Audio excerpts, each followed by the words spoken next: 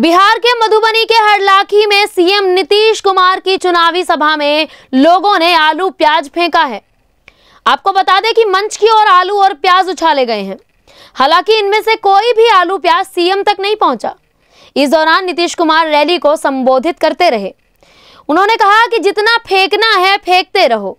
जैसे ही नीतीश कुमार की ओर आलू प्याज फेंके जाने लगे, उनके सुरक्षा कर्मियों ने आगे आकर मोर्चा संभाला।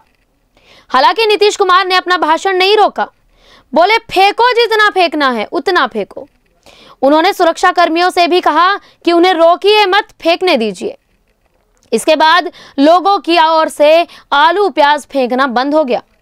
इस दौरान सीएम नीतीश कुमार ने अपना भाषण जारी रखा। आलू प्याज फेंकने के दौरान सीएम नीतीश ने सुरक्षा कर्मियों से कहा कि छोड़ दीजिए, दो मिनट छोड़ दीजिए, किसी पर ध्यान मत दीजिए। विपक्ष पर सवाल करते हुए उन्होंने पूछा कि जो आज नौकरी देने की बात कह रहा है, पंद्रह सालों में कितने लोगों को नौकरी दी?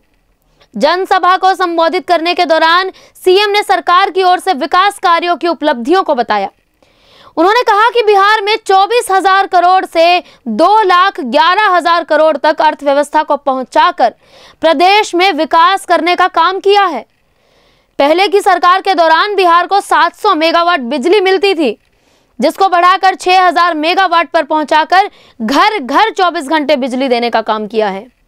मधुबनी पेंटिंग को उद्योग में परिवर्तन करने के लिए आर्यभट्ट यूनिवर्सिटी से जोड़कर प्रशिक्षण के लिए सौराठ में विद्यालय देकर मिथिला और मैथिली का मान बढ़ाया है। जनजाति और अति पिछड़े वर्ग के लोगों को दे रहे हैं और खूब फेंको खूब फेंको। खूब फेंको। खूब फेंको। खूब फेंको। खूब फेंको। छोड़ दीजिए इसको। छोड़ दीजिए, किसी पर ध्यान मत दीजिए। आप समझ सकते हैं ना? समझ सकते हैं। इसलिए जान लो और मालूम हो जाएगा रोज़गार का कितना अवसर पैदा होगा। हमने बता दिया, किसी को मजबूरी में बिहार के बाहर जाना नहीं पड़ेगा। और बिहार में लोगों के लिए पैदा होगा।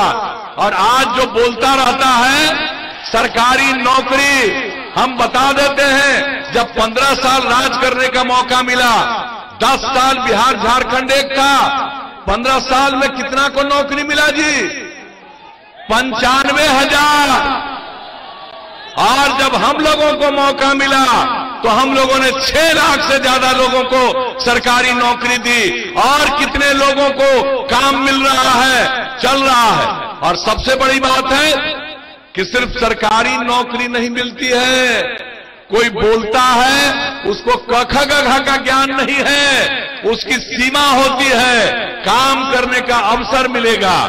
और जिस तरह की बातें हमने बताई, नई टेक्निक का ट्रेनिंग नई औद्योगिक नीति जो बनी है, उस औद्योगिक नीति के माध्यम से हम लोग इतना ज़्यादा उद्योग का और विकास करने जा रहे हैं। जो बाहर से लोग आया, आज लोगों को पता नहीं है कितनी बड़ी संख्या में लोग अब यहाँ काम कर रहे हैं।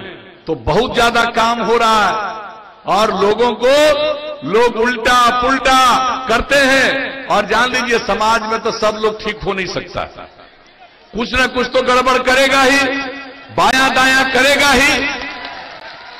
तो कुछ लोग तो ऐसा करने वाले हैं तो इसलिए हमको उसकी कोई चिंता नहीं है। हम तो आप कुछ लोगों के लिए अपना परिवार ही सब कुछ है, और मेरे लिए पूरा बिहार एक परिवार है, और लोगों की सेवा करना हम लोगों का धर्म है। इसलिए मौका दीजिएगा, बिहार बहुत आगे बढ़ेगा।